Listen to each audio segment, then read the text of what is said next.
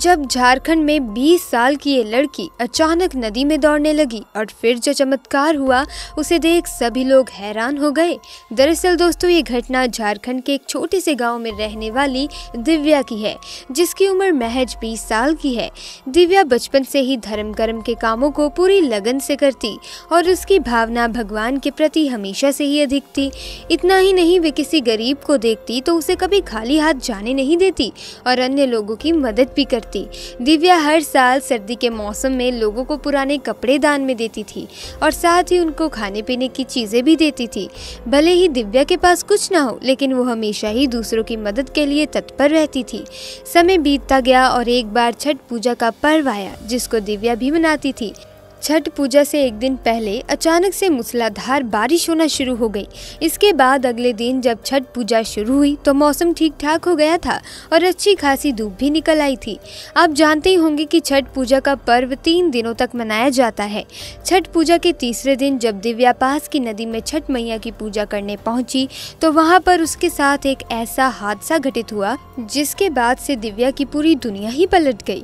जी हाँ उस दिन मौसम भी काफ़ी बिगड़ा हुआ था, आसमान आसमान पर काले बादल छाए हुए थे और बिजली की गड़गड़ाहट के बीच सभी श्रद्धालु नदी में छठ मैया की पूजा अर्चना कर रहे थे।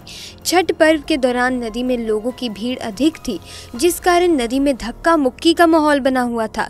वहीं लोगों की सुरक्षा के लिए सुरक्षा दलों को तैनात भी किया गया था।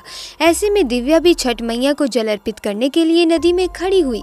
देखते ही देखते वो नदी के बीचों बीच पहुंचकर पूजा करने के लिए खड़ी हो गई। अचानक से तेज तेज बारिश हुई और नदी के पानी का बहाव तेज हो गया, जिससे दिव्या बहते हुए दूर किसी जगह पहुँच गई। दिव्या को तैरना नहीं आता था दोस्तों, जिसकी वजह से वो नदी के बहाव में बहती हुई कहीं दूर चली गई और धीरे धीरे नदी के अंदर समाने लगी। तभी दिव्या को लगा कि वो अब नहीं बचेगी, उसकी मौत अब निश्चित है।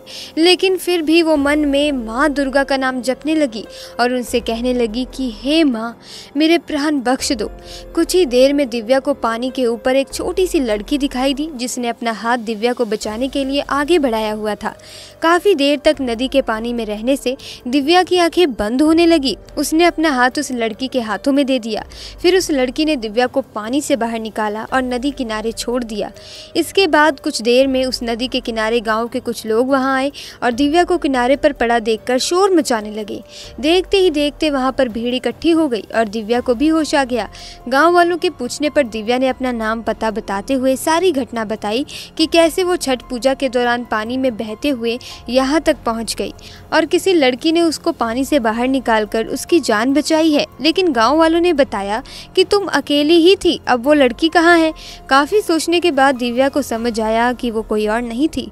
स्वयं माँ दुर्गा ने एक बच्ची के रूप में आकर उसकी जान बचाई है और माता यहाँ से अब जा चुकी हैं। कुछ देर बाद दिव्या के घर वालों को इस घटना के बारे में पुलिस द्वारा सूचित किया गया और फिर दिव्या खुशी खुशी अपने घर लौट गई। तो दोस्तों, अगर आपको भी माँ का ये चमत्कार अच्छा लगा तो वीडियो को एक लाइक ज़रूर कीजिए। ऐसी ही घटनाएँ देखने और सुनने के लिए हमारे चैनल को सब्सक्राइब कीजिए, ताकि आपको ऐसी वीडियोस की अपडेट मिलती रहे। मिलेंगे अगली वीडियो में नई सच्ची घटना के साथ। तब तक के लिए आपका बहुत बहुत धन्यवाद।